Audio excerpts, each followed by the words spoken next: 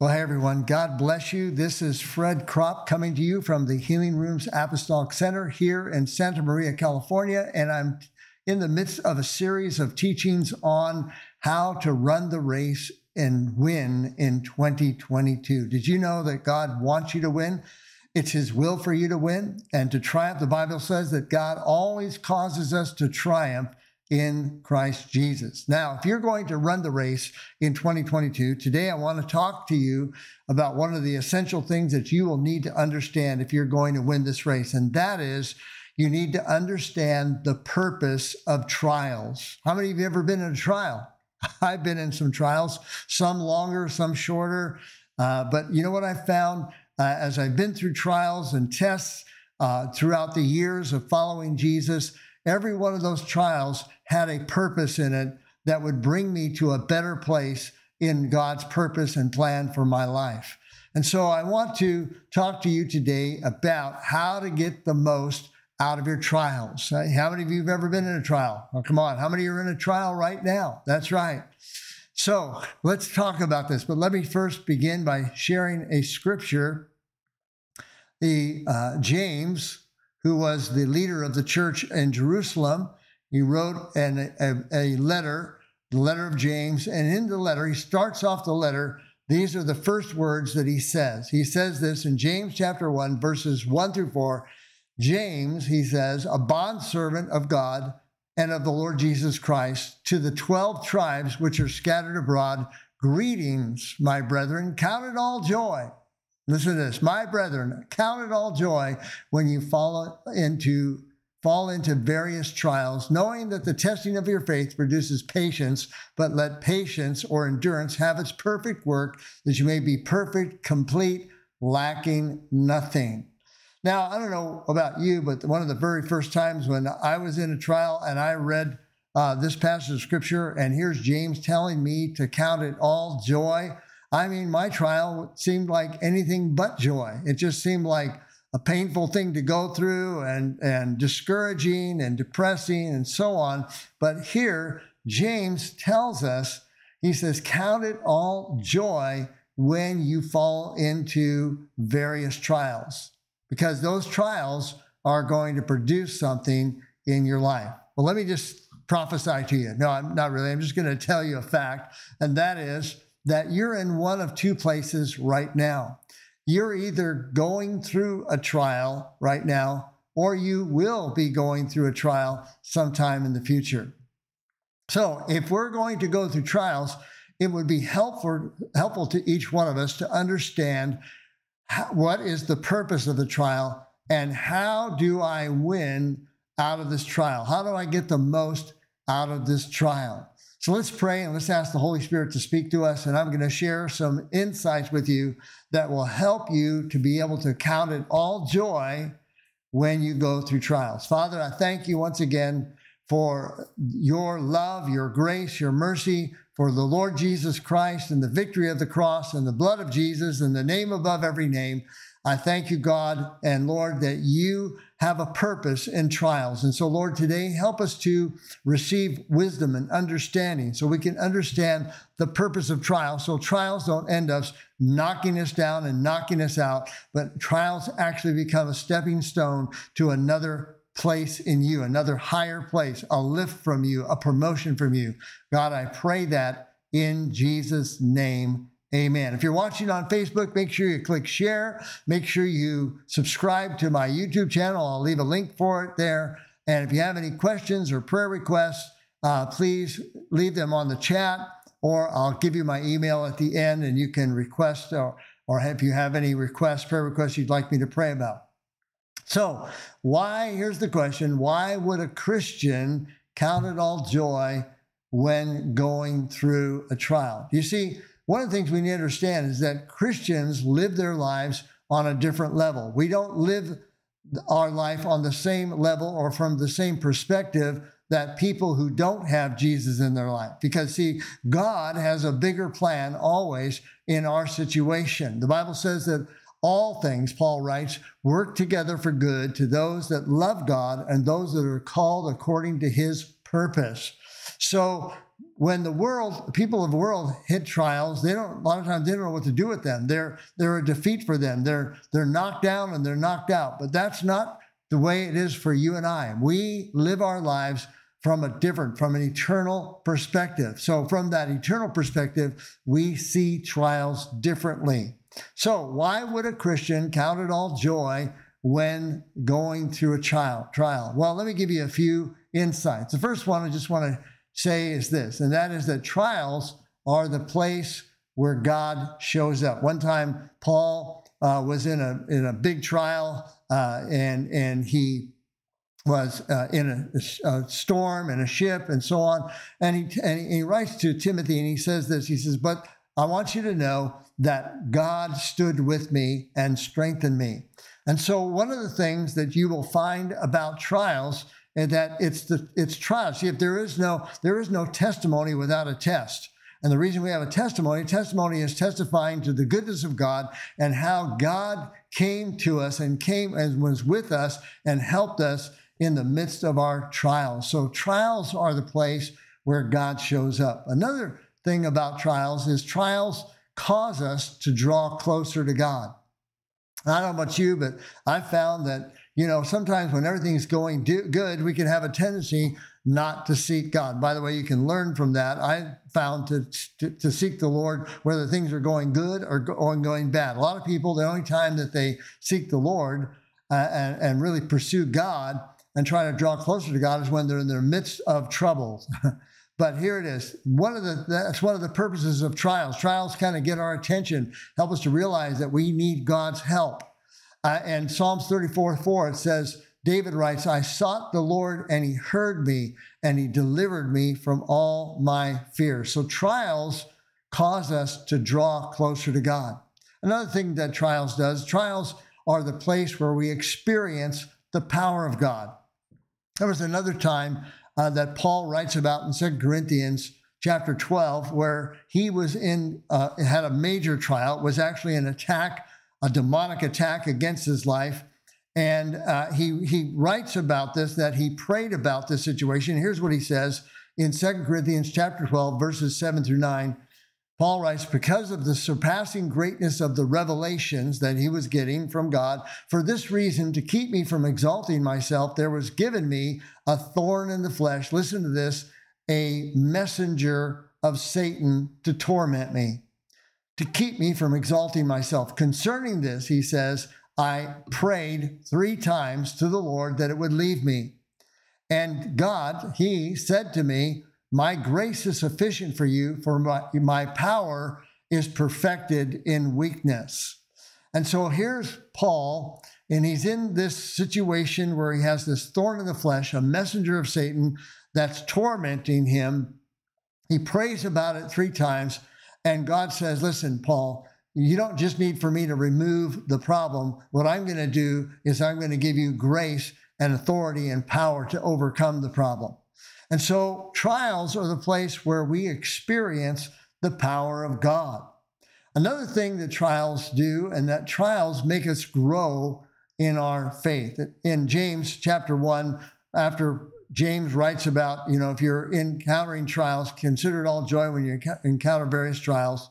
Then he says this knowing that the testing of your faith produces endurance. Let endurance have its perfect result, that you may be perfect and complete, lacking nothing. So trials cause us to grow in faith. Every time you and I face a trial, and we, by the grace of God and by going to God, we have the victory, we experience the victory of God through the cross of Jesus Christ, through the blood of Jesus, and through the name of Jesus. We experience the victory. It causes our faith to grow. And whenever we begin to have faith for greater things, because trials make us strong in faith. That's right. Another thing that trials do is trials are the place where we encounter the love of God and the comfort of the Holy Spirit. Paul also writes about this in 2 Corinthians chapter 1. He says, All praise to God the Father and the Lord Jesus Christ. God, our merciful Father, and the source of all comfort. He comforts us in all our troubles so that we can comfort others when they are troubled. We are able to give them the same comfort that God has given us. Did you catch that?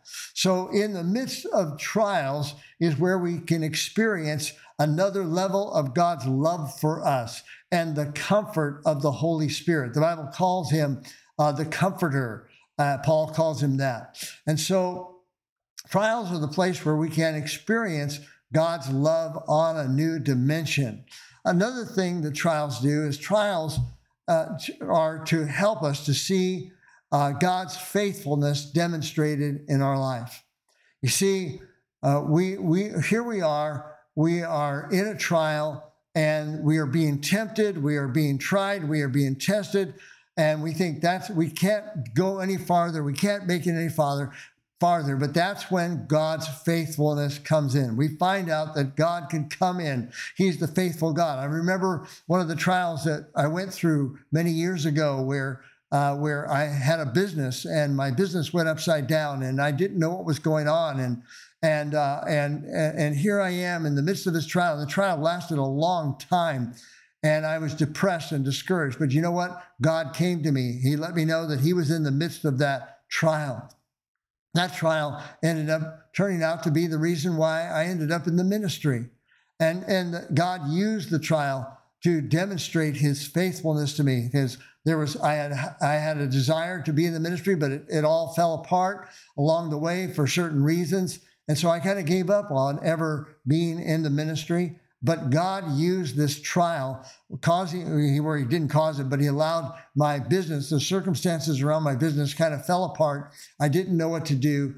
And God came and showed his faithfulness to, me. And the next thing I know, I went from business to now I'm the pastor of a church and been a pastor for many, many years.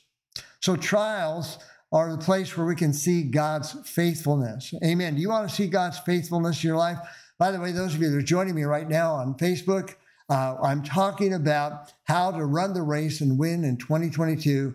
And one of the ways you're going to do that is to understand the purpose of trials. And so I'm talking to you about why would James write in James chapter 1 and say, Count it all joy when you encounter various trials. Now, you know, once you learn uh, about the purpose of trials, you're going to be able to actually, if you're in a trial right now, or you will be in a trial, guess what? You can learn how to rejoice in the middle of the trial. Remember Paul and Silas, then they they had been beaten and put into prison in Philippi.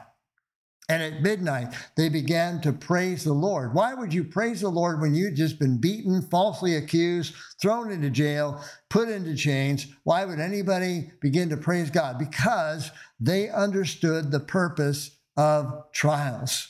Now, here's another thing trials teach us to trust in the Lord and not in ourselves.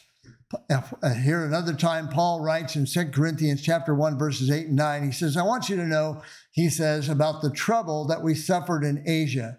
We had great burdens that were beyond our own ability and strength.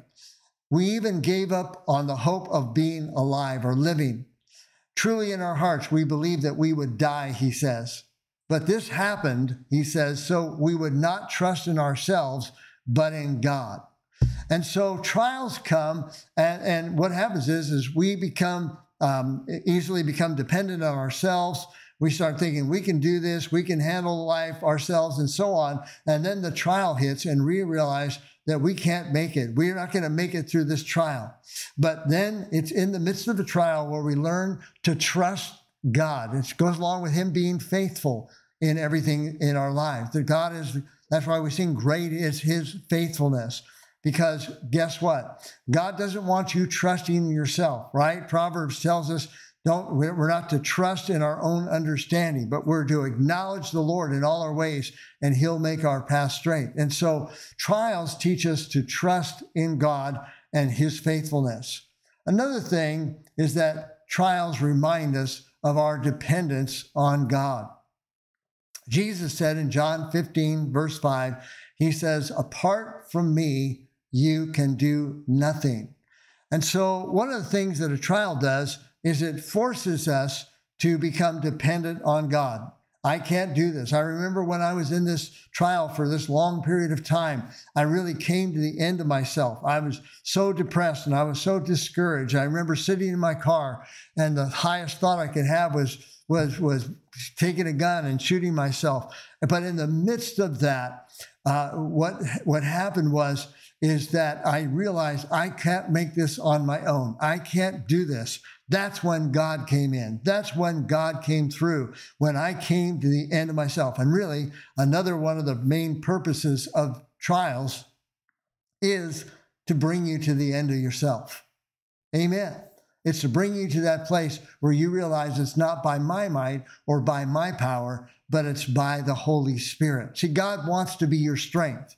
Uh, uh, and, and, you know, in Psalm 73, the, the, the writer of Psalms, Asaph was his name. He, he was going through hard things and he couldn't understand what it was. And then he realized that God had a greater purpose for him. And he said, Whom, am I, whom have I in heaven but you? And beside you I desire nothing on earth. Though my flesh and my heart may fail me, God is the strength of my heart and I pour, my portion forever. In other words, when we come to the end of ourselves, as trials bring us to the end of ourselves, then we come to a place of utter weakness. You see, God makes his power known in our weakness. When we're weak, that's why it says, let the weak say, I'm a mighty man. When we're weak, that's when we're strong. That's what the Apostle Paul says. He discovered the truth that if he comes to the end of himself, he finds God at the end right there. That's when God's strength kicks in. That's when God's power kicks in. That's when God's love and mercy and grace kick into our lives. So trials remind us of our dependence on God. Another thing that trials do is trials will cause us to see what's really important in life. Jesus said one's life does not consist in the abundance of the things he possesses.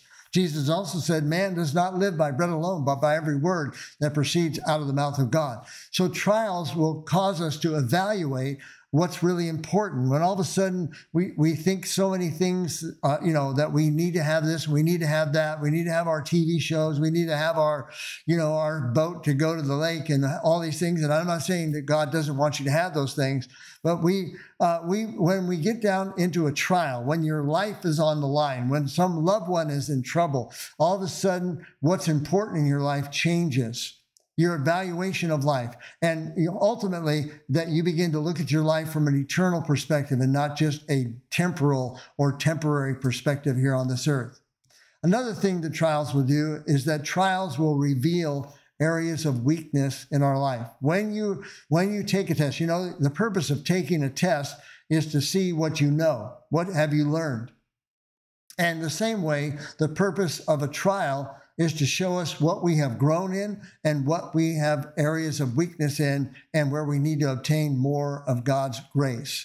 So God says to Paul, My grace is sufficient for you, for my power is perfected in weakness. So I don't know about you, but I've found that when I'm in a trial, if there's if I have anger issues, if I have unbelief issues, if I have, uh, uh, you know, whatever issues in my life, they come to the surface in the midst of that trial. And that's not a bad thing. Come on, it's like we're Bible talks about us being like gold that is being purified. And what happens when you purify gold is you turn up the heat on that gold and you get turned hotter and hotter. And guess what? As you heat up gold, then the, all the impurities in the gold come to the surface so that the person that's perfecting the gold can scrape off the impurities so that they can, so the gold will be more pure until it gets to be 24 karat gold. Come on. And so the same happens in a trial. A trial brings out the impurities in your life, it brings out the weaknesses, it brings out the, the areas that you need to repent of in your life. So, trials, you can rejoice in trials. And those of you that are joining me, I'm talking to you about how to run the race in 2022 and win. And one of the way, ways you do is by understanding the purpose of trials. Trials have a purpose, and that's why James says, Count it all joy when you encounter various trials. Another thing that trials do, they will cause you to discover the wisdom of God. In James chapter 1, where James writes about counting it all joy, he goes on to say, if you're in a trial, he says this, but if any of you, this is verse 5 of James chapter 1, if any of you lacks wisdom, let him ask of God, for he generously and, and he gives generously and enjoys giving to all people. He so he will give you wisdom. So guess what?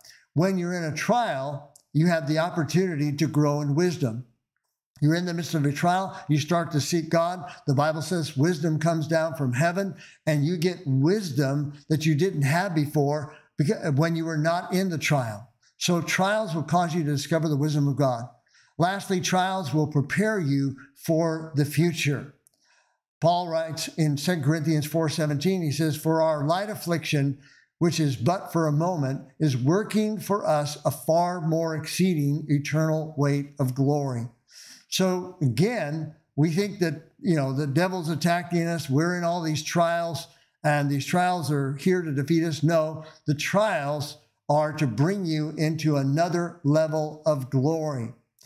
Trials are preparing you for the future.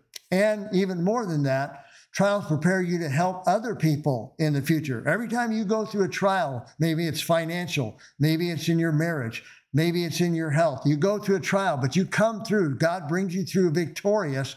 Then guess what? There's other people that are going to come along and they're going to be in a trial just like you were. And you're going to be able to encourage them and strengthen them and say, you know what? I understand what you're going through. I went through the same thing, but I want you to know our God is faithful and God will bring you through to the victory. Come on. So, uh, one last thing I want to share with you as I come to the end of uh, this video today is I want to talk to you about how to respond when you're in a trial. So, those of you again are joining me on Facebook, uh, make sure you click share. Uh, today, I'm talking about how to run the race and win in 2022. And one of the ways is by understanding the purpose of trials. In other words, how do you get the most out of the trial you're in? God wants you to, the trial has a purpose, and God wants you to get something out of this trial. So, how do we respond when we're in a trial? Well, first thing is get the Lord's perspective on the trial. In other words, that's why James says, ask for wisdom. So you, when you find yourself in a trial, okay, why am I here? Why am I in this trial? And then instead of looking at all the negative things that are happening to you, you know, I'm in pain or this hurts and and I don't like this situation and this is not fair and and why did this happen to me? Instead of asking those questions, begin to say, God, I need your perspective on this trial. A second thing that I would encourage you to do uh, when you are when you're in a trial, how do you respond? And that is to draw near to God, not away from Him. So sometimes people get in trials and then they give up on God. You know, where is God? Where are you, God? Why didn't you come through for me? Well, how did you? Why did you let this happen to me? God, you know, uh, you're, you, don't you see my situation? So on. And so people will draw back from God, but that's not the right thing to do. If you want to win in the midst of the trial, you need to draw near to God, not away from Him. Then also, as you're in the midst of a trial, remind yourself that God will cause something to good to come out of this trial. Again, Romans chapter 8 says, all things work together for good to those who love God and those that are, the, that are the called of God according to his purpose. And by the way, it goes on to say his purpose is to conform us to the image of Jesus. In other words, trials are designed to make you look like, act like, think like, walk like, talk like Jesus in a greater measure than you ever have before. So here it is. Remind yourself, you know, I don't like this trial. I don't know why I'm here, but you know what? I'm just going to make the confession something good is going to come out of this trial, not only in my life, but in the lives of other people that I'm going to become a blessing to. Here's another thing that will help you in go, when you're in the midst of a trial. Ask the Lord what you can learn from this trial. Again, as I mentioned earlier, trials are designed to give you wisdom. So, what can I learn in this trial. A lot of times you can find out that you got yourself in the trial through making some wrong choices and wrong decisions. You'll learn some things that you don't need in your life and some things that you do need to add to your life. And so uh, ask the Lord, what is it that you're teaching me? And what can you teach me in the midst of this trial? Here's another thing, and this sounds contrary to what most people would do in a trial, and that is to praise God in the midst of the trial. Remember, I told you about Paul and Silas having been beaten, arrested, unjustly, uh, wrongly accused, thrown into prison, put into chains. Here they are bleeding, they're hurting, and at midnight it says they began to sing praises, sing hymns and praises to God. And guess what? As they did that, it actually broke through and made the trial uh, into an opportunity to share Jesus with the jailer and whose whole family came to the Lord in that situation. So praise God in the midst of trial. It's easy to praise God when you just won the lottery. It's easy to praise God when everything's just gone good. It's easy to praise God when you just got engaged or you just got a raise at work. But the real proof of your praise is when you're in the midst of a trial and you it's it's hard, it's painful, it's frustrating, it's it's it's it's depressing. But you know what? You stop and say, you know what? I'm not going to sit here and complain. What I'm going to do, and I'm just going to begin to praise God in the midst of the trial. David was a master of that. King David, all through Psalms, you can see him. He's talking about trial after trial that he goes through, but in the midst of it, he starts talking about, I'm going to give you praise. I'm going to thank you. I'm going to give thanks to God. I'm going to enter your gates with thanksgiving, your courts with praise. So you praise God in the midst of a trial. Another thing to do in the midst of a trial is trust the Lord to bring you tr- through the trial. Now, here's where we make mistake, and that is don't trial, try to figure your own way out of the trial. All that will do is keep you in the trial. I call it going around the mountain another time. See, every time you try to work your way out of the trial, instead of letting God bring you through the trial, then guess what? It just prolongs the trial. I went through a long trial many years ago, and it could have been shorter, but I kept trying to figure out my own solution, my own answer. I tried to work my own way out of the trial. And guess what? It didn't work. It just kept me in the trial longer. And then finally, recognize that trials are temporary, but the good things that the trial will work into your life last forever. Recognize that trials are temporary, but the good things that God will produce in your life through the trial will last forever. Well, I want to come to close here now, but I want to pray with you. Uh, um, you know, I'm sure that as you're listening to this message, uh, I've given you uh, some things that will help you to understand the purpose of trials, how you can count it joy when you're in the midst of a trial. But maybe you're in a trial right now. Maybe you're going through the hardest trial of your life. And some of you may be right there right now.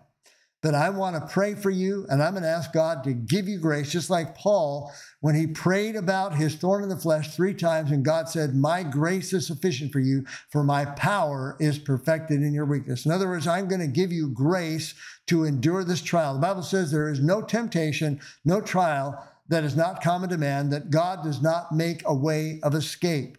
And so, no matter what trial, and by the way, you're not alone in the trial. You're not the only person that ever's gone through a trial. Many people have gone through the same trial that you've gone through. Now, you can either come out bitter or you can come out better. And it's really how you approach the trial. Are you going to take understand the purpose of the trial and you're going to begin to get God's perspective and draw near to God and remind yourself that something good is going to come out of the trial. What are you going to do in the midst of it? I want to pray for you that you will make the right choices in the midst of the trial and even begin to praise God in the midst of the trial. God can get more out of a trial. In fact, the way up is the way down. The way you get promoted in the kingdom of God is through tests and trials that come into your life. And as you go through the test and pass the test, you get a, a, promotion from God in the things of the Spirit, in the things of God, in the blessings of the Lord as you come through in victory, because the Bible again says that God always causes us to triumph in Christ. So let me pray for you right now. You may be hurting. I understand what it feels like to hurt physically, emotionally, mentally, relationally, all kinds of trials that I've been through. Uh, people that have betrayed me uh, and different things that have happened or accused me wrongly, different things that have happened through the years.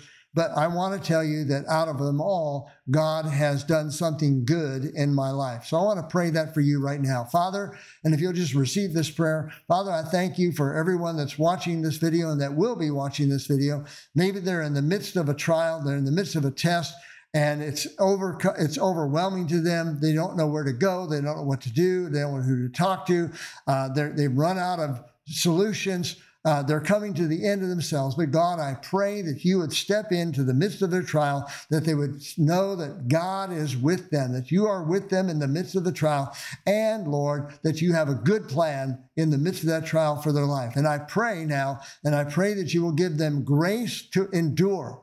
Your word says that trials produce endurance that cause us to become perfect perfected in you and to grow strong in you. And so, God, I pray that over them right now in the name of Jesus. Lord, I pray that they will see you in the midst of the trial. They will see the power of God, the goodness of God, the grace of God, the authority of God, the insight of God, the wisdom of God. God, I pray that over each and every one of them. God, that you will give them that grace that is sufficient for them and that power that's perfected in their weakness right now in the name of Jesus. Amen and amen.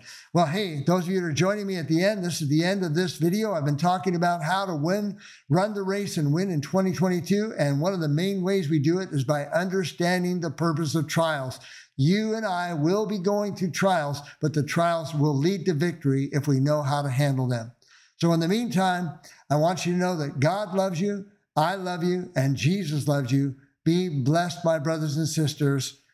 Be sure to tune in next time. We'll talk about another thing that you can do and how to prepare yourself and be ready for 2022 and how you can win the race every single time in Jesus' name. God bless you, my brothers and sisters.